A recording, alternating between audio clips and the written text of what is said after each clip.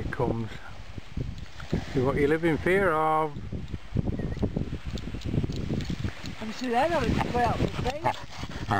I think that was it.